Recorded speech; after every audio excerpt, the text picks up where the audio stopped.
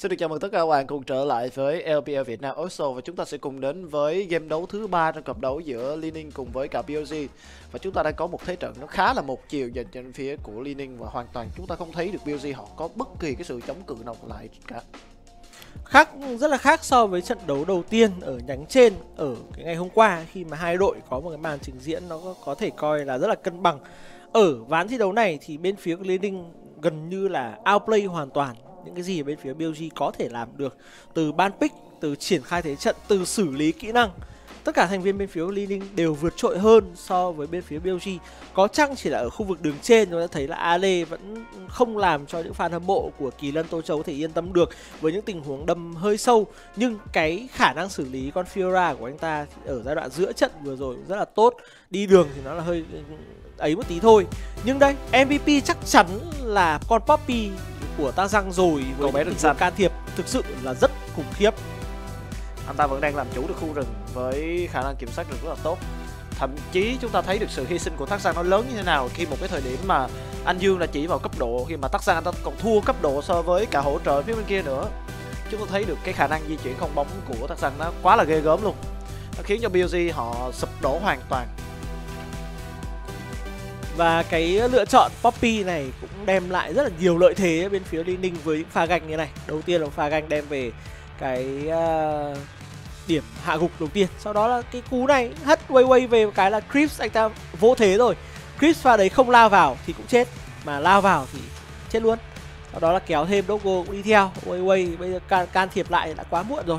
ba điểm hạ gục rất dễ dàng bên phía của Liên Ninh mà đây chỉ là những tình huống highlight theo diện là giáo tranh thôi nhé chứ còn những cái pha mà W để giữ đối phương lại hay là cái tình huống chiêu cuối hạ gục icon và hất hai thành viên của bên phía BOG lên là lát nữa các bạn có thể xem. Đây cái pha này phải. Đây một pha mà icon người ta bị sấy. Quay quay chết. Và các bạn nhìn đấy tác răng kích hoạt cho mình là giáp gia tốc khóa cuồng bay lên. Và chiêu Đúc. cuối chết icon hất Crips với cả Doko lên. Sau đó ném khiên vào người Doko quay ngược trở lại tấn công đồng ý pha này là chúng ta thấy được cái xử lý của Poppy nó ngọt như thế nào trong tay của Tắc Răng nhưng mà cái pha xử lý mà gọi là kỹ năng vô cùng cao ở khu vực đường dưới cái trụ hai á đó là chính pha mà Ale bị đánh trong trụ anh ta ừ. thấp móng anh ta chạy ra. Thì con Poppy nó gồng cái sứ giả phán quyết nó đấm một phát quay quay bay thẳng về nhà.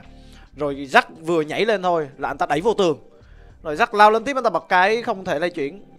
Rồi mọi thứ nó đâu vào đấy. Có thể coi là một mình ta rằng đã đem về đến phải 70 80% chiến thắng cho bàn đấu vừa rồi cho bên phía Lê Ninh. Khi mà anh ta di chuyển tốt, anh ta đọc vòng rừng của đối phương tốt hơn, anh ta xử lý kỹ năng hoàn hảo trong tình huống giao tranh. Một phần nữa, đấy là bên phía BLG vẫn không cải thiện gì so với ván đấu đầu tiên ở khả năng ban pick. Một con Nila xuất hiện và Nila cung phong linh là tôi cảm giác là gần như không có sự đe dọa nào trong ván đấu vừa rồi với các thành viên bên phía của Li Ninh cả chưa kể là những tình huống ờ, cao tờ ngược trở lại với sóng thần của Nami với thủy ngục với sứ giả phán quyết. Chính xác. Quá nhiều những cái kỹ năng ngăn cản cái khả năng lao vào của Nila nó đã khiến cho một cái con Nila không gây được một lượng sát thương nào khi mà bạn không thể đột kích được tuyến sau. À, cùng thời điểm với trận đấu mà chúng ta diễn ra ấy, thì cũng có playoff của giải đấu LCK thì Dev đánh con Nila này ta lên đúng theo kiểu là Samira. Đồ đầu tiên là nỏ tử thủ sau đó là súng hay tặc và đồ thứ ba là cái uh, vô cực kiếm. Và lúc đấy thì lượng sát thương của anh ta không phải lượng sát thương ấn tượng nhất đâu cũng chỉ là làm nền cho lượng sát thương của con Asia đứng giữa mà thôi. Đấy thì cái ván đấu vừa rồi bên phía của BLG đã pick một cái đội hình nó không hợp lý một chút nào cả và họ vận hành cũng rất là nhiều sai lầm. Và một chiến thắng ở bên phía Leaning Sport là điều hoàn toàn hợp lý. Chính xác là như vậy. Nếu như anh ta lên cho mình đó là cái nọ tự thủ cùng với cái uh, không lên xuống ngoài tặc mà lên cho mình đó là nỏ thần Dominic kèm với cái cực kiếm thì chúng ta vẫn đồng ý hoặc là ừ. cái giáp thiên thần ở món thứ ba. Thì chúng ta vẫn nói là ừ vẫn có cơ sở để cho ta chơi cái kèo này. Nhưng mà cái dấu chấm hỏi lớn nhất nó ngay từ cái giai đoạn ba bit cơ. Chính con xác. Poppy là con được first pick chứ không phải là bit ở lượt thứ hai lượt thứ ba. Mà thấy con Poppy vẫn dám bit vào đó chính là con Jack. Rồi thấy Lucian Nami tại vì con à, tôi nhớ không lầm đó là cái sự lựa chọn con Nila là sự lựa chọn cuối cùng ở cái phay chọn đầu tiên là đã thấy cái sự uh, sự xuất hiện của Lucianami rồi. Thấy nguyên cái sóng thần thấy nguyên thủy ngục thấy nguyên cái không thể lay chuyển mà còn dám bích vào con Nila thực sự tôi rất là chấm hỏi trong pha trong pha cấm chọn như vậy. Và cái chấm hỏi nhiều hơn đó chính là Sivir. Tại sao một đội hình nó mạnh như thế này mà lại không lấy của Sivir? Nếu như con Sivir đó được ráp vào đội hình nó thực sự rất kinh dị. Tại vì khả năng mà lao vào cái tuyến sâu của bên phía của BOG nó không có đâu. Tại vì lao lên bình thường á sẽ bị cọc băng chặn lại. Bên phía bên kia có không thể leo chuyển còn phía bên này vẫn có cọc băng để ờ, cover nhưng mà họ không chọn cv à? Và thực ra ấy, khi mà bạn có được cái vị trí cao hơn ở trên nhánh đấu của mình ấy thì bạn có một cái lợi thế khá là lớn ở playoff này, đấy là bạn được quyền tự do lựa chọn bên ở trong ba ván trong loạt đấu BO năm này. Chứ không nhất quyết là đội thua ở ván đấu trước được quyền chọn bên ở ván đấu sau như là ở giai đoạn vòng bảng. Mà đây sẽ là lựa chọn từ trước bên phía của Lê Ninh hoàn toàn quyền có thể quyết định là mình chọn bên ở những cái ván nào. Và ngày hôm qua ấy, thì OMG theo thôi thông tin tôi nghe được là OMG chọn bên ở ba ván đầu tiên nên ở hai ván cuối họ không quyền có quyền chọn bên nữa. Ngày hôm nay thì Liên Ninh có vẻ như cũng đã chọn bên ở ba ván đầu tiên và họ toàn chọn bên xanh. Cả hai đội tuyển Liên Ninh Esports và BOG đều có tỷ lệ thắng ở bên đội xanh nhiều hơn rất nhiều so với khi ở bên đội đỏ. và ở meta này thì đội xanh cũng đang có tỷ lệ thắng tốt hơn. Ui rồi làm lại làm lại làm lại. Hồi nãy anh nhớ anh anh nói là con Bobby nó ghê không? Hồi nãy là nằm ngủ mơ thấy Bobby và tôi định nói vào cái thời điểm đó nhưng mà tôi lại quên mất. Đó là game trước sợ kenen cấm kenen game sau sợ Bobby cấm kenen à, cấm Bobby thì đằng nào cũng lòi ra kenen và thực sự nó lòi ra thật. Cái bộ ba này chính là bộ ba nguyên tử ở game đấu đầu tiên này nhưng mà nhìn vào cái thế trận này nó ổn hơn dành cho BOG tại vì anh nhớ hồi nãy break time chúng ta có đi ra ngoài và tôi có nói là Doggo đâu đó thì vị tướng ta sử dụng tốt nhất bây giờ vẫn khả thi vẫn chỉ là Aphelios mà thôi. Và chính xác mọi chuyện đang diễn ra đúng với những gì chúng ta đã um, tính toán từ trước.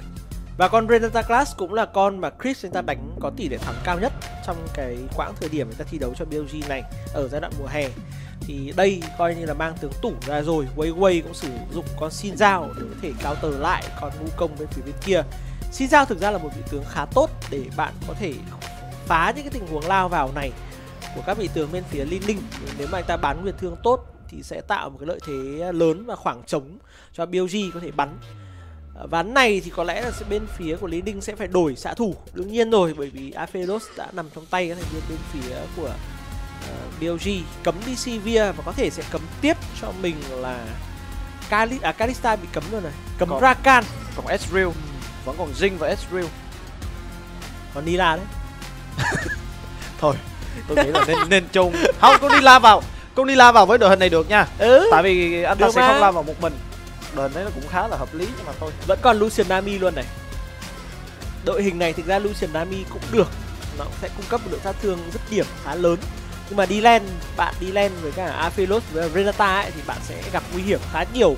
Con Renata counter Nami rất nặng bởi vì Renata cấu rỉa máu tốt, khống chế tốt. Nếu mà Nami dính bắt tay ấy, thì khả năng hạ gục là rất cao. Ừm, Akali sẽ xuất hiện trong đội hình của bên phía BLG Đây là tướng trong meta này Bạn có thể mang Akali ra khu vực đường giữa. Nhưng Bin đang tự tin hơn với sự lựa chọn Jax của mình. Lucian Nami xuất hiện trong đội hình của bên phía Lê Ninh. Cái gì không sai thì mình không sửa Họ kết hợp ừm, giữa bộ ba nguyên tử ở ván 1 Và bộ đôi nguyên tử ở ván 2 Đem lại một đội hình là 5 quả bom đến từ bên phía Lê Ninh Mà nổ cho bên nào thì chúng ta vẫn chưa biết. Chúng ta thấy được cái kèo đấu của của Doggo anh ta xử lý cặp đôi bên phía của uh, Aphelios cộng với Retaclass. Anh ta tỷ lệ thắng đường so với Lucian Nami là nhiều hơn nha. Chúng ta thấy rất nhiều kịch bản rồi. Cái tỷ lệ thắng của anh ta là nhiều hơn rất là nhiều. Ui cuối cùng thì Akali vẫn xuất hiện. Và nó sẽ là Akali nằm tay của Icon, Icon.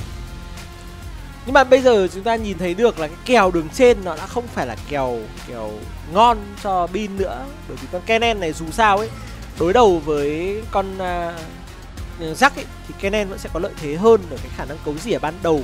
Cái phản công của Jack không né được cái quy của Kennen nên khi bạn kích hoạt phản công lên bạn vẫn bị dính quy và khi bạn dính quy bạn vẫn sẽ bị giật cái W và gây đam đến từ con Kennen này điều này khiến cho con Jax của Bin ấy anh ta phải lên cho mình là kháng phép từ rất sớm. Và nếu mà anh ta lên kháng phép thì anh ta không có đủ cái lượng uh, chống chịu trước sát thương của con Wukong cũng như là sát thương của Doctor.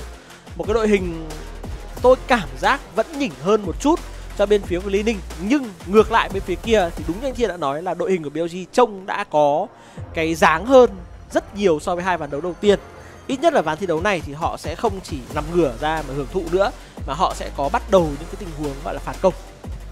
Đồng ý chính xác như vậy. Đội hình này nó có sự bảo kê dành cho Alhidot nhiều hơn là con Thresh tại vì cái hợp chất điên loạn nó cũng là một thứ gì đó kinh dị, nó có thể cao được vô công, có thể cao trực tiếp vào Kennen đơn bên ta hay anh ta sẽ bấm được cho mình cái khiên phép để có thể né đi cái chiều cuối đó, nhưng mà chỉ cần bảo kê được khỏi cái tình huống lao vào của con Wukong mà thôi thì một mình DNB anh cũng không có quá nhiều áp lực vào vị trí của Aphelios và Akali luôn luôn là một ẩn số. Akali ở mọi phiên bản, nó cùng với Irelia là một trong hai vị tướng bị nấp. Thê thảm nấp lên, nấp sướng nấp kiểu gì? Yasuo mạnh quá nấp Akali, Yone mạnh quá cũng nấp Akali. Nhưng mà chúng ta vẫn thấy được cái độ phổ biến của Akali, tại vì sao nó phổ biến như vậy? Nó vẫn là một ẩn số, vẫn là một vị tướng rất mạnh trong tay của những người chơi kỹ năng cao. Chỉ đơn giản là cái khả năng sốc sát thương của Akali vẫn luôn được giữ nguyên chỉ là cái khả năng đi len của Akali nó bị ảnh hưởng ít nhiều thôi và nó sẽ khiến cho con Akali này nó chậm đạt đến ngưỡng sức mạnh hơn tuy nhiên ở thời điểm hiện tại thì khi mà đem lại khu vực đường giữa với việc là con Nocturne bên phía bên kia không phải là một vị tướng đẩy lính quá mạnh và tấn công quá sớm, thì Akali hoàn toàn có thể có được một giai đoạn đi đường tốt. Lai và Lumao đứng ở góc này là một góc cắm mắt khá là phù hợp. Nhưng mà bên phía của BLG đã phát hiện con mắt này rồi, nhưng mà Lai sẽ có một tình huống anh ta dùng Ồ, W hay check pha thi đấu hay đấy nhưng mà việc bạn tăng W ở cấp độ 1 này nó khiến nó khả năng dồn sát thương của bộ đôi này nó bị giảm đi khá đáng kể. Lucian Nami mà cấp độ 1 gặp Arceus với lại Reta Class thì tăng chiêu gì tôi thấy cũng thua tại vì cặp đấu này chúng ta thấy nhiều quá rồi. Ừ. Nó bật cái súng thiên lý rồi phía bên kia đâu có đánh được đâu. Và Đấy. đương nhiên là một cái E đến từ Creep rồi Tuy nhiên đấy là sự lựa chọn tốt nhất mà bên phía Lining có thể làm Họ phải làm thế để làm giảm đi cái khả năng đè đường sớm của bộ đôi bên phía BLG Và giúp cho cái giai đoạn đi đường vượt trội hơn một chút. Ở đứng trên thì Ale vẫn đang ta tăng tốc độ sấm sét ngay từ đầu à? Một cái hay đấy bởi vì tăng tốc độ sấm sét ngay từ đầu thì sau khi kết thúc tốc độ sấm sét bạn sẽ có cái tốc độ đánh được cộng thêm. Đúng rồi, và đây sẽ là một cách khởi đầu thường thấy ở những cái khu vực Kennen ở khu vực đứng trên. Chính xác. nhưng mà sau đó bạn sẽ tăng tối đa chiêu quy để cấu rỉa máu đau hơn. Đúng rồi, cái thời kỳ mà Nuguri anh ta còn đánh ở DK á, anh ta mua cho mình đó là cái lưỡi hái và anh ta nâng cho mình đó là cái chiêu E để có những cái tình huống farm lính rồi cấu rỉa ở giai đoạn đầu trận đấu thì đây là một cái điểm tăng chiêu rất là hợp lý dành cho Ale. Còn khu vực đường giữa nãy chúng ta nhìn sơ qua cái ngọc then chốt á thì bên phía của Icon anh ta cầm cho mình đó là cái giáp cốt cộng với cái kiên cường. Còn ở bên phía ngược lại á thì Duenby anh ta lấy ở nhánh kiên định đó là cái ờ, ngọn gió thứ hai kết hợp với cả cái kiên cường thì những cái tình huống mà tung phi tiêu năm cánh á, thì Duenby anh ta thậm chí anh ta có thể hồi phục ngược trở lại. Chính xác là như vậy. Và bây giờ thì bin anh ta bị gõ rất đau. Bây giờ ta rằng có một tình huống xử lý cực tốt. Anh ta dùng chim mồi anh ta lao lên và bây giờ bin thấp máu quá rồi. Bin! Một cái cân đổ vân và một cái gậy vào đầu là xong. Bây giờ bin Mất e phản công. rồi. ui tốc độ e e nhanh vậy? Nhưng mà hết mana rồi. Vẫn lao lên một tình huống cân đổ vân lao vào. Bin bắt buộc sẽ phải biến về. À không ai cho biến về khi đôi bin đã xuất hiện ở đây? Ơ bin không nhìn luôn à? À vẫn vẫn vẫn vẫn vẫn tốn thời gian quá lính chưa vào.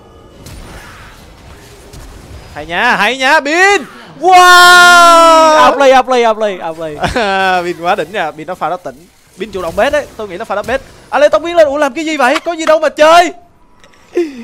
Đấy hình như là đầu cái cặp đấu này chúng ta đã, đã có cái kết luận đấy là cái cặp này mà hy vọng 3 không thì nó quá khó. Bởi vì hai đội này cái độ bất ổn của nó là như nhau. Và bắt đầu có cái cảm giác là bên phía Linh nó lại hơi vội rồi. Khi mà họ đang ở ván đấu thứ ba họ đang bị vội quá và bên phía của BLG đang có thể coi là chắt chiu cái cơ hội này. Đây là ván đấu thứ ba một ván đấu mà bên phía BLG bắt buộc phải thắng nếu muốn nuôi hy vọng. Bởi vì đây đã là match point đầu tiên cho bên phía của Đinh rồi và với một cái khởi đầu nó không có gì có thể đẹp hơn như thế này khi mà rừng của đối phương mất tốc biến rừng đối phương thọt cấp độ thọt lính đường trên đối phương mất tốc biến và cũng thọt level luôn.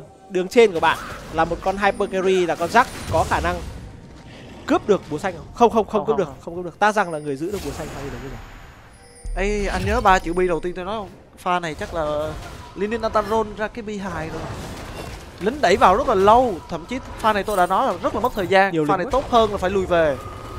Bin anh ta giữ cái lượng năng lượng cuối cùng để chờ những pha lao vào ta bật cái phản công. Một pha play quá tuyệt vời với vị của bin luôn á. Mà anh ta kích hoạt phản công bật sớm hơn để làm choáng được ta rằng bất chấp là ta rằng phải tốc biến ra ngoài. Và bây giờ thì khi mà đôi bi thọt như vậy thì Icon sẽ có lợi thế hơn rất nhiều ở khu vực đường giữa. Anh ta có thể tự tin hơn trong những tình huống trao đổi chiêu thức. Đôi bi lên nước mắt ạ wow như vậy có thể sẽ là một con Nocturne tăng hoàn toàn. Khi ta hướng lên cho mình là cái ờ, giáp băng. Đúng rồi. À. giáp băng vĩnh cửu kết hợp với cả cái uh, cái trì phản kích vẫn là cái trang bị ưu tiên dành cho con Nocturne này.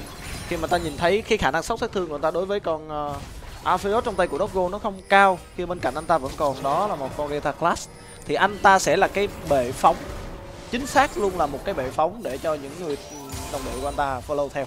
Không nhưng ván này nếu mà là là tôi ấy, tôi sẽ lên găng tay băng hỏa. Chơi tăng luôn chơi full tăng đến từ con Nocturne này bay vào chỉ để làm chậm và gây cái sự hỗn loạn thôi. Bởi vì thực ra cái lượng sát thương của bạn cũng là có. Khi mà bạn có được cái cú quy lên người đối phương sau đó bạn đánh tay ấy, cái nội tại các thứ ấy, thì sát thương có đấy. Nó chỉ là không nhiều thôi nhưng mà nó vẫn là đủ để có thể gây một cái sự hoảng hốt về đội hình và nếu mà lên găng tay băng hỏa thì cái khả năng băng vào của đôi bi vẫn là tốt hơn. Đội hình của BOG nó khác so với ván đấu đầu tiên là bây giờ nó có con Akali. Nên cái khả năng sốc sát thương của Akali và xin dao là rất là nhiều. Nếu mà con Nocturne này lên cái truy phản kích nữa ấy, thì khả năng người ta nằm xuống là rất cao. Ở đường trên này thì Ale mặc dù rất cố gắng cấu rỉa máu nhưng con Jax này vẫn có khả năng sống sót được ở giai đoạn này khi mà nó đã có cho mình một cái áo lụa để gia tăng kháng phép rồi đồng ý như vậy nhưng mà ở thời điểm này nha chúng ta nhìn vào bên phía của Liên Ninh họ là một đội hình full tấn công chứ không có bất kỳ cái khả năng phòng ngự nào cả. Duy nhất đó là cái sóng thần đến từ vị trí của Nami mà thôi nhưng mà cái chiêu cuối này cũng không phải là một chiêu cuối nó có cái tầm hoạt động quá là là, là, là khó né. Cho nên là những mũi nhọn tấn công phía sau của bên phía liên ninh rất là khó thở. Quay quay anh ta đang trở lại anh ta né một tình huống và hay anh ta lao thẳng vào vị trí của lai. Lai dính cho mình cái phong lôi thường nhưng mà ở một cái khoảng cách khá là an toàn pha thi đấu vừa rồi thực ra Weiwei hiện tại cũng không có những cái con mắt hay là gì cả để kích cho mình hai lần liên hoàn tam kích. Nên ờ, một pha đâm vào của Weiwei chỉ là cấu rỉa máu của Lai Lai mà thôi. Không có liên hoàn tam kích hất tung lên thì rất là khó combat. Một cái mắt của Lai cũng phát hiện ra rồi. Đây có thể tình huống phản công từ bộ ba của các thành viên bên phía Linh Ninh. Một pha xử lý tốt. Và bây giờ thì Weiwei câu giờ. Chỉ là một tình huống mà đôi anh Bi bật chiêu cuối lên. Không có được điểm hỗ trợ luôn. Cày hơi cày thấy game dễ quá đi game hiến giống game đầu tiên rồi. Tại sao cấp độ 6 của một con Nocturne thì bạn lấy cái cơ sở gì đó lao vào rừng? Tại vì nếu như đánh nhau trong rừng thì con con Nocturne nó sẽ lao vào trước. Mà nó lao vào thì con Akali cũng không có cái cửa nào để di chuyển theo cả. Thực sự ẩu. Bên anh ta lao lên anh ta bị choáng rất đơn giản mà thôi. Đấy vẫn là một pha xử lý về kỹ năng không tốt đến từ bên phía BOG nhé khi mà Wei người ta nghĩ rằng bộ đôi của đối phương là biến về hồi máu chúng ta nhìn thấy là họ không hề có tầm nhìn và Doko thậm chí là cũng còn dừng lại. Anh ta không vào để cùng combat với đối phương cơ. Wei Wei thứ nhất là không có tầm nhìn của Tăng Răng thứ hai là không biết bộ đôi của bên phía Lining nó đang ở đâu. Và một cái tắt đèn anh ta mù luôn. Và ta đứng lại ở trong hang bùa đỏ và ta dâng hiến cho bên phía của Lining một điểm hạ gục rất quan trọng cho Lai. Đây vẫn là người đang xanh nhất trong đội hình bên phía Lining khi mà ta không bị thọt trong cái pha giao tranh đầu tiên. Đây sẽ là bốn thành viên, năm thành viên bên phía của BOG và chắc chắn là liên họ phải bỏ đi cho mình con sứ giả này. Lao ra là chỉ có tự sát mà thôi, tại vì cầm đôi Lucian Nami vẫn ở khu vực đường dưới họ sẽ sở được cho mình con sứ giả khe nứt nhưng mà cấp độ vẫn đang trên lệch dành cho phía của tắc giang. Vẫn hơn cấp độ 6 và ở cấp độ 6 thì cái khả năng tác động của Wukong nó vẫn mạnh mẽ hơn là Xin Giao rất là nhiều. Tại vì cái bán nguyệt thương của Xin Giao, phần nào đó nó chỉ mang cái thiên hướng phòng thủ mà thôi chứ nó không mang cái thiên hướng tấn công. Và đội hình bên phía của Liên Ninh họ vẫn có những công cụ để thoát thắt đi. Một pha biến về có vẻ như là không hợp lý lắm từ bộ đôi bên phía Liên Ninh khi mà họ không ra giao tranh ở sứ giả được mà họ cũng không đẩy một đợt, một đợt lính lớn vào độ trụ của bên phía BOG để đến bây giờ ấy thì khi mà họ đẩy lính lên thì lại đóng băng. Lính ở một khoảng cách khá là dễ để cho Dogo có thể băng lên để kiếm cho mình những chỉ số lính. Nó không tạo được một cái áp lực đủ lớn vào đường dưới của bên phía BOG Bin thì vẫn đang rất tự tin với kèo đấu tay đôi này. Nói ra thì Ale so với Bin thì nó cảm giác là Bin vẫn đang hơn, xử lý kỹ năng tốt, đi đường ổn định. Nhưng mà về đồng đội thì Bin đang gánh bốn cung tạ, còn Ale thì đang được gánh. Ừ, đồng ý, chính xác là như vậy. Tại vì thậm chí trong game đấu đầu tiên, dù họ thua thì Bin vẫn khá là xanh. Bây giờ thì giác này có về thủy ngân nó đâu có ngán con Kennen này đâu một tình huống giật choáng thì đâu đó ừ, một thời gian ngắn thôi là anh ta có thể tỉnh trở lại. Những cú chạy hit rất là lời dành cho bin khi anh ta lao lên, kết hợp nội tại. Ớt! Tay chiêu cuối được clear lính và anh ta sẽ biến về trong pha này. Biến về thôi. Là bin đi qua tầm nhìn rồi. Ale ơ, ale có nhìn không vậy? À ale vẫn đang rất mạo hiểm pha thi đấu vừa rồi. Nếu mà bin pha đấy nhìn thấy ale, anh ta nhảy vào đấm một phát thôi là ale sẽ mất thêm rất là nhiều thời gian mà gần như là không đem lại được cái gì cả. Đôi bi ở khu vực đường giữa đã lên cho mình à, xong do thép cai rồi. Sẽ hướng lên lên cho mình là truy phản kích uh, sớm nhá. Ở thời điểm hiện tại sẽ không thể là sớm được nữa rồi. Bị icon đã có cho mình được cái giày pháp sư. Lượng sát thương của akali bây giờ là ấn tượng nha. Icon có lẽ đang chờ cấp độ 11 để có một lượng sát thương tốt hơn với cái sát chiêu hoàn hảo lần hai. Nên anh ta bám đường farm từ nãy giờ anh ta không di chuyển và BOG cũng rất là hài lòng với cái việc đó. Họ đang tăng tiền sức mạnh tốt đến từ Athelos cộng với Akali cộng với Jack ở khu vực đường trên, mặc dù Jack thì đang bị đè lính. Tôi cảm giác là con sứ giả khi nước trong tay của quay vẫn đang giữ để chờ con rồng ra. Khu vực đường giữa đây có đánh nhau, quay quay tới rồi tắc cũng có mặt. Icon đã lướt lại bằng cái găm phi tiêu của mình. Nhưng mà chỉ đơn giản là nhà anh ấy về mà thôi, con sứ giả khi nước vẫn còn đang giữ và 30 giây nữa con rồng sẽ ra. Tôi nghĩ là chỉ trong một thời gian ngắn nữa thôi thì họ sẽ tạo một thế lính để có thể thả con sứ giả này ừ, hơi khó bên phía của BOG để có thể thả lính bởi hai đường của họ. Bây giờ không có đường nào thực sự có lợi. Đối bi vẫn đang farm rất tốt ở khu vực đường giữa này. Anh ta lùi về rất nhanh. Đã thấy ai cần băng băng ra là anh ta biết được là có thể Wei Wei sẽ đi qua. Và cũng như là tác răng có tầm nhìn của Wei Wei pha chiến đấu vừa rồi. Nên anh ta lùi về rất là nhanh thôi. Không tham hai con lính ở lại để mất mạng cả. Và nó khiến cho cái thế lính các bạn nhìn thấy không có cái thế nào để con xin giao phải thả. Con sứ giả cả giờ thì akali đi xuống dưới mà xin giao đi lên bãi chim thành ra là đường giữa. Bây giờ bạn bắt buộc phải thả ở cái khoảng cách rất là xa. Đôi bi hoàn toàn có đủ thời gian nữa thì phản ứng những pha thi đấu này ta ui bay vào lốc xoáy hai người nữa tăng rằng và xin giáo bắt buộc phải bỏ đi rồi. Nhưng mà lượng sát thương đến từ icon là không có. À, và có sứ giả để bị phá luôn. Chris đang đứng trước mặt hai thành viên bên phía của BOG vòng sau đến ale được phi tiêu hụt. Ui giời ơi lừa. Ôi chiêu cuối của Crips tung ra pha này là hơi thừa. Lừa trong lừa đấy. Pha đấy chắc chắn là lừa trong lừa đấy. Tôi thấy con akali vẫn còn tốc biến thì pha này đánh ẩu thật sự. Lấy cái gì để chơi trong pha vừa rồi? Tại vì ale anh ta bọc sau nha nhưng mà cái khoảng cách đó là không thể nào để anh ta tiếp cận được. Và các bạn thấy nha, rõ ràng trước pha đấy thì Ale vẫn chưa nằm xuống một mạng nào cả. Anh ta vẫn đang có lợi về thế lính Vẫn đang có lợi về chỉ số lính so với Bin Nhưng mà sau pha đấy ta nằm xuống luôn. Anh ta bị thua Thế lính thua về thế Bin ăn được thêm cho mình hai lớp kiến trụ nữa. Là nó đem về một lượng tiền rất lớn cho con Jax này pha con bát thì các tôi nghĩ là cái việc dừng lại ở phá sứ giả là quá thành công rồi. Tôi muốn xem những cú binh. Tôi muốn xem những cú binh đến từ vị trí của bên kia. Nó thực ra là chắc là ping đánh đấy bởi vì, vì, vì kiểu Ale chặn đường ai cần không cho về xong Lai có thể băng lên rất điểm. Mà thôi Lai đến tôi thấy một cú binh chấm than màu xanh có nghĩa là cú binh lùi về chứ không phải là cú binh đánh lên. Chỉ có những cú binh đang tới đến từ vị trí của Ale mà thôi. À anh ta muốn làm ban lãnh đạo thì sao rồi? Anh ta bao lãnh đạn rồi. Đồng đội côn về mà mình lao lên thì khó hiểu thật. Mất thế ở khu vực đường trên rồi. Nhưng mà về mặt thế tổng quan bên phía BLG vẫn đang làm rất là tốt trong ván thi đấu này. Họ giữ được lượng tiền lượng tiền tranh lệch cho mình. Họ ăn được hai rồng. Họ khiến cho không biết là có bùa mê thuốc lú gì mà Ale lại băng vào cái pha tấn công như vậy đường dưới thì mặc dù Lai có cho mình điểm hạ gục nhưng mà đồ thì khá là cân bằng giữa Dogo cũng và Lai khi cả hai đều đã có cung phong linh rồi. Đường giữa thì Akali sẽ ngày càng trở nên mạnh hơn với việc lên cho mình là cái uh, lưỡi hái bóng đêm. Nó rất là khỏe cho con Akali này nó còn tăng thêm máu nó giảm thời gian hồi chiêu. Nó có một cái tốc độ di chuyển khi mà bạn gây sát thương chúng vào đối phương bạn găm phi tiêu chúng bạn di chuyển rất là nhanh. Và nó sẽ càng ngày nó càng khiến cho con Nocturne của Doingbi nó trở nên yếu hơn. Nocturne là một vị tướng rất mạnh ở giai đoạn đầu và giữa trận. Nhưng khi mà đối phương đã có đồ rồi ấy, thì con Nocturne này khá là yếu ớt trước lượng sát thương của đối phương. Đúng bây giờ những thứ mà con Nocturne này có thể mang lại đó chỉ là sự khó chịu mà thôi. Cái lượng sát thương của Denby ở trận đấu này nó không có nhiều nó không đột biến như trận đấu mà ta được triple kill ở giai đoạn đầu đâu. Thì không có tai nạn không có những cái pha vấp cỏ như vậy thì bên phía của BOG họ vẫn đang trụ rất là vững ở game đấu này. Với cái lượng chênh lệch về tiền và những cái lượng kinh tế được dồn vào những vị trí quan trọng khi mà sắc bây giờ đã có được cho mình đó là cái uh, cái cái bút rìu sắc thần rồi. Hai món trang bị này anh ta không hề ngại con Kennen con Kennen còn chưa lên được cái món đồ lớn đầu tiên thì lấy cái gì mà chơi với sắc đây? Vẫn đang là những tình huống kiểm soát rất chậm rãi của bên phía của BLG lần này họ không đánh quá nhanh nữa. Một phần là bởi vì đội hình của bên phía BLG sẽ là đội hình kéo lết mạnh mẽ hơn nên đang duy trì một thế trận chậm và chắc chắn hơn so với hai ván đấu đầu tiên họ phát hiện ra được rằng hai ván đấu đầu tiên ấy phần lớn đến những sai lầm cá nhân khi mà họ thi đấu quá vội. Nên ở ván đấu này họ đã thay đổi cái khả năng uh, thay đổi chiến thuật của mình. Và điều này nó đang đang đem lại những cái tín hiệu tốt. Khi mà đường dưới họ cũng làm ổn họ vẫn đang ngang đồ so với đối phương. Đường giữa bạn đã đang farm hơn đường trên thua một tí nhưng đồ của bạn đã có rồi. Đây sẽ là một trận đấu vất vả hơn ở bên phía Liên rất nhiều so với hai màn hai ván đấu đầu tiên chính xác là như vậy. Chúng ta thấy được BLG đang triển khai một thế trận rất là tốt. Mặc dù khu vực dưới không có màn hạ gục, nhưng mà con Aphelios này đang farm chinh so với bên kia một quay lính.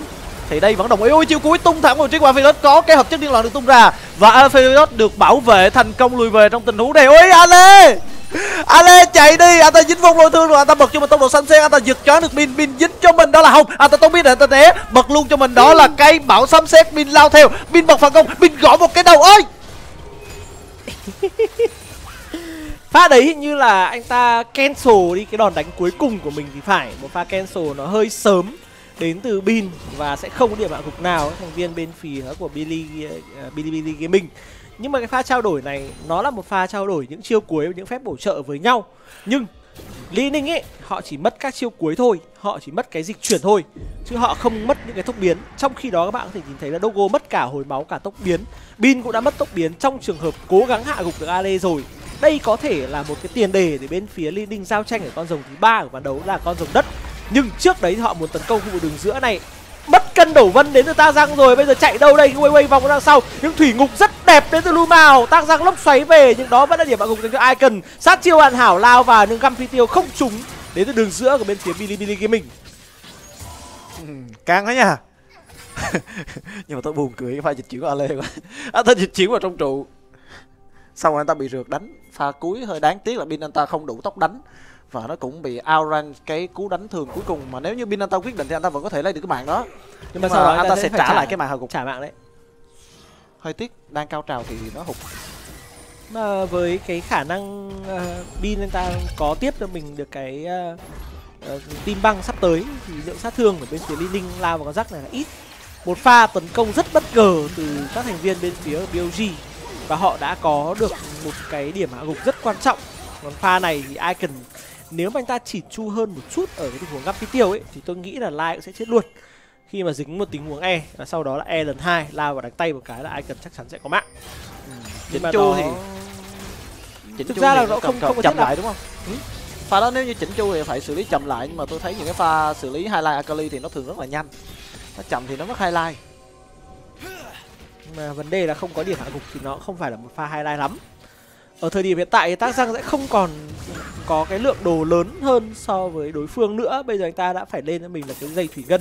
Nhưng chưa hoàn thành, Wei Wei đã có xong được hai món trang bị quan trọng nhất với con si dao đấy là một cái truy hấp huyết cộng với cả một cái dây thép gai rồi. Icon đã có cho mình là lưỡi hài bóng đêm.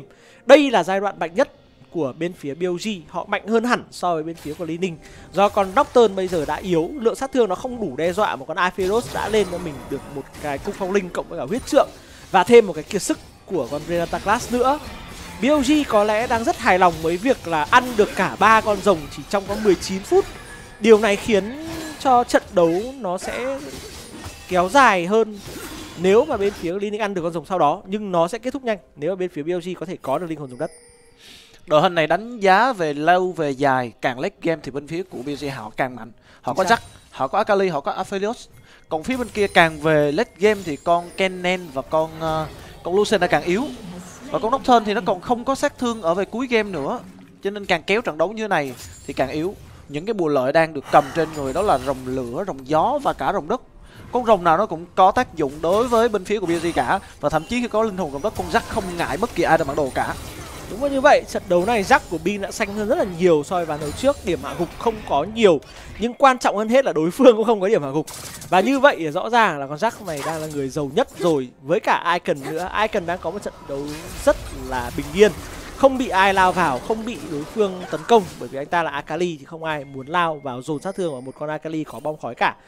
Đây là một ván đấu mà Lucian của Lai cũng không có được cái ờ, khả năng snowball tốt. Anh ta vẫn giống như ván đấu trước lên cho mình là một cái dao không tàn có thể là để đấy thôi. Sau đó bán đi để có thêm sát thương ở giai đoạn giữa trận này. Nhưng lượng sát thương này nó sẽ không đủ đe dọa. Và những vị tướng như là Shinjao hay là Jax đã gần hoàn thành cho mình là cái tim băng rồi bây giờ thì chúng ta thấy được anh ta chỉ lên được mới đó là cái đai tên lửa Hextech mà thôi. Còn phía của Jack thì sắp xong cho mình đó là cái team băng rồi. Anh tại sẽ zone những vị tướng sát thương vật lý bên kia rất là căng luôn. Và điểm mạnh nhất của đội hình của Kennen là gì? Đó là bạn phải triển khai được cái điều kiện. Đó chính là đẩy được những cái trụ một. Đúng. Bao được cái dàn trụ một thì lúc đó cắm những con mắt phía sau. Kennen mới có góc vào. Còn bây giờ đội hình của bạn đang thua ở mọi đường. Không có bất kỳ cái đường nào gọi là đường thắng cả. Thì không có cửa để cắm mắt ra phía sau giờ đâu đó thì hai con mắt ở một cái bụi cỏ chẳng ba, một bụi cỏ nghe hang blue bên phía của Lining đó nó vẫn còn tồn tại, nhưng mà rồng không ra. Rồng chưa có thì hai con mắt đó nó cũng không có quá nhiều tác dụng. Thì thậm chí nó cũng sẽ bị phá sớm mà thôi, những cái góc vòng, tí nữa nó sẽ bị phá. Lai hình như quyết định là anh ta sẽ lên cho mình là cái súng hải tặc luôn. Anh ta quyết định là mình phải có sát thương dứt điểm trong một cái đội hình mà sát thương đang hơi thiếu đến từ Linh Ninh. Họ chưa có những tình huống giao tranh đẹp và thậm chí là đôi bi bây giờ còn không bắt được hướng di chuyển của Icon ở Wei Wei anh ta không biết có Icon ở đây. Icon lao vào găm phi tiêu lần hai vẫn có Đầu sát quá. chiêu hoàn hảo. Nhưng mà đôi bi thì đã Tặc có giáp. thêm một cái hỏa ngọc nữa nên rất khó. Và ta giang là có mặt đây xoáy được hai người. Hoang tưởng lao vào bay thẳng vào tấn công xin chào sóng thần hụt. Và sau đó là cái thanh trừng này cũng chưa đủ sát thương. Bây giờ có dạ cứu cánh nhưng ale tốc biến lên, làm choáng mọi người. Đông cô đông cô mất máu rồi đông cô bị sắt đào bởi lai. Bây giờ bin đến đây, ta làm choáng được ai? Ta làm choáng được vào người của đôi bì. Nhưng đôi bì đang chống chịu sát thương ở đây. Tác răng trừng phạt và con baron để hồi máu lại. Và lai đang bắn cả thế giới. Găm phi tiêu lại hụt đến từ icon. Và đó là hai điểm ở cùng liên tiếp của thành viên bên phía của liên ninh. Đôi bi đánh hay quá nhờ. Anh ta bật cái hoang tưởng và anh ta chờ một nhịp rất là lâu. Anh ta chờ những đồng đội mình follow up tới. Vì trong cái thời gian bật khoan tưởng thì bên phía của BLC họ không có tầm nhìn Họ không thể tập trung đủ người một cách nhanh chóng cả. Thì khi mà tắt sang anh ta tới với cái chim mồi, với cái lốc xoáy Để tung rất nhiều chiêu thức vào thì lúc đó bên bên ta mới vào.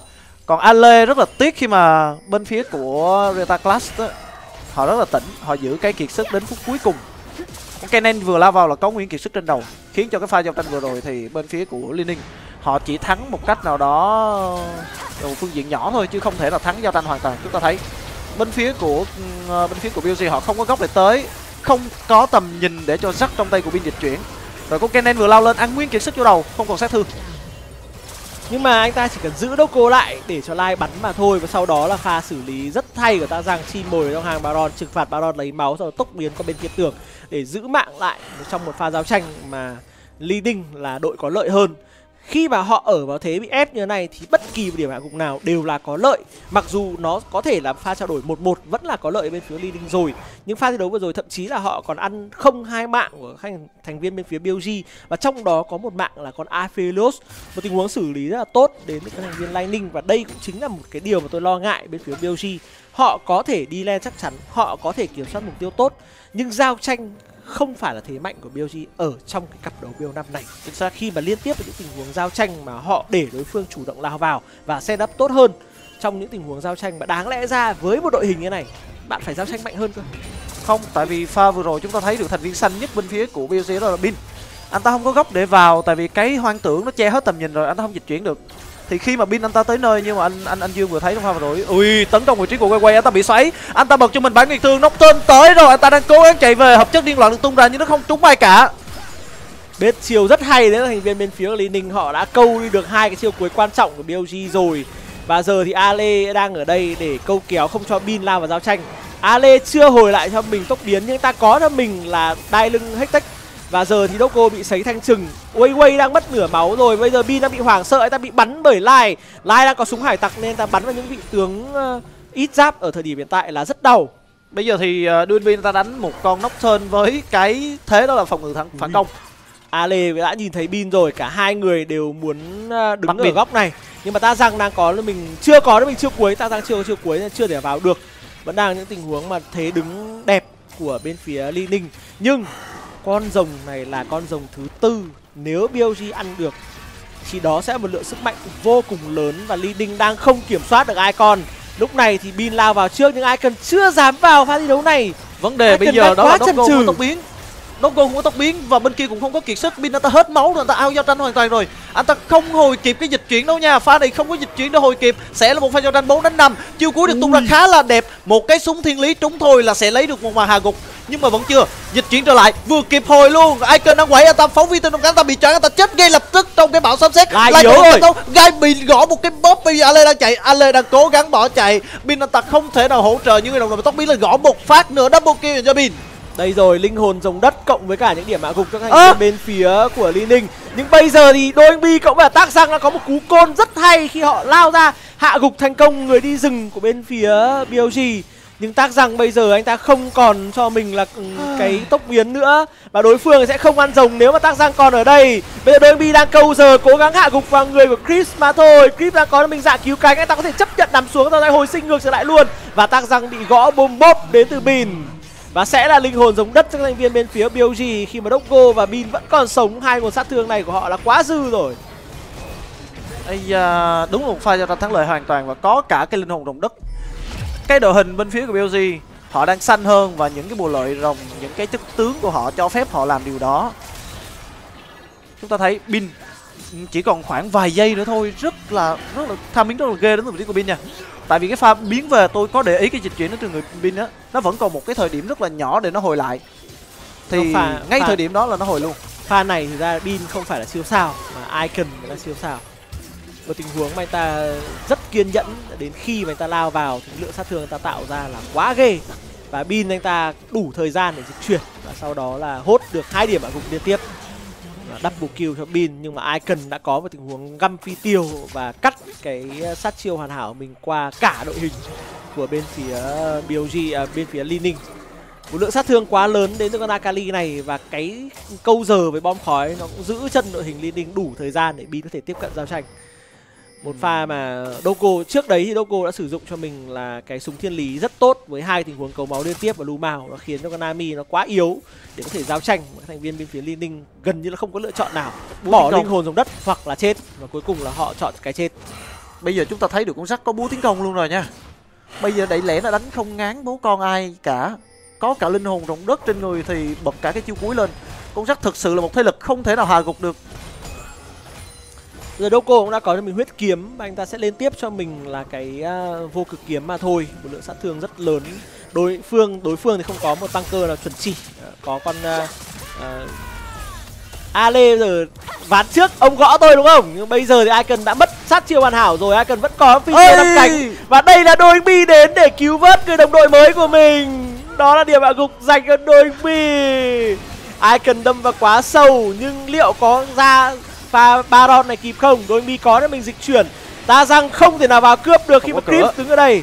Thôi mất Baron rồi và ta răng sẽ phải sử dụng symbol để đi về. Thôi thì uh, mất Baron còn hơn là mất hết. Chúng ta đang thấy được là rất nhiều shuriken trên người của Doggo khiến cho cái tốc độ rush Baron của con Alphilot này nó quá là nhanh đi.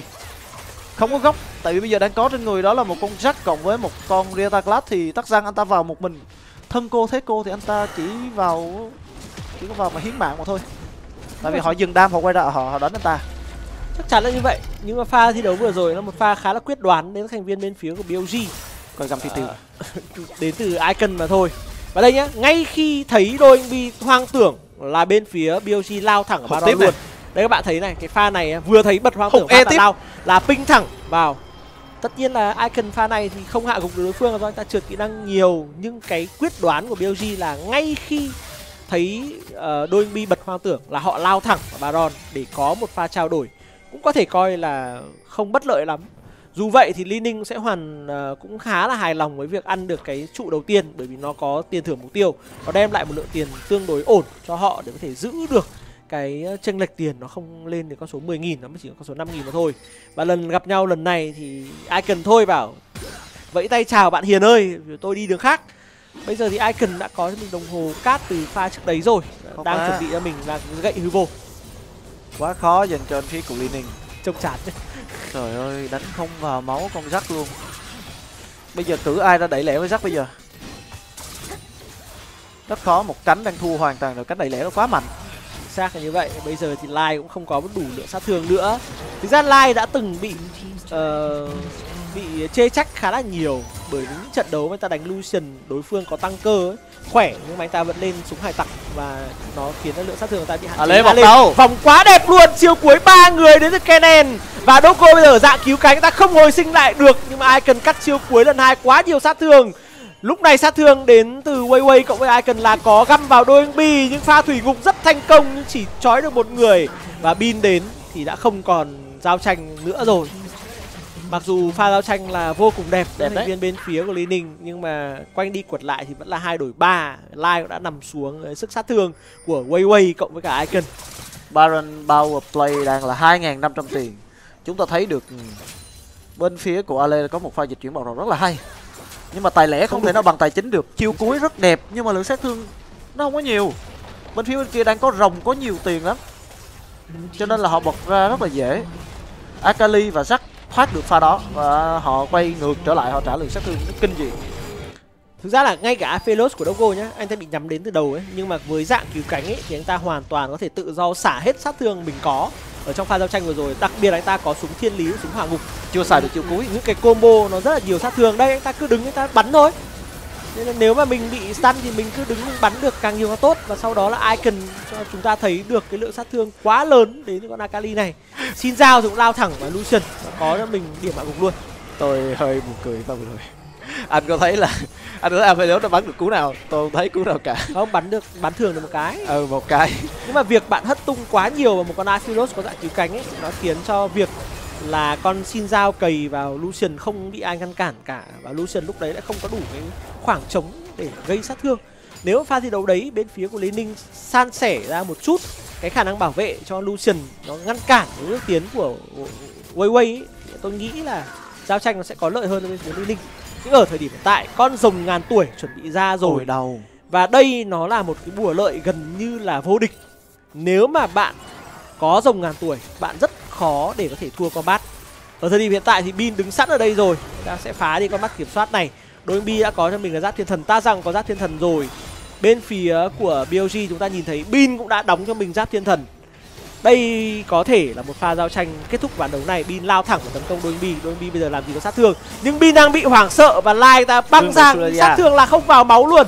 Vẫn tiếp tục là pha băng lên đến các thành viên rồi thiên ngục chính xác và bên phía của Liên Ninh bây giờ họ đang thực sự là bế tắc nha. Những gì mà chúng ta đã nói con Kennen nó chỉ mạnh về cuối game khi bạn kiểm soát được tầm nhìn.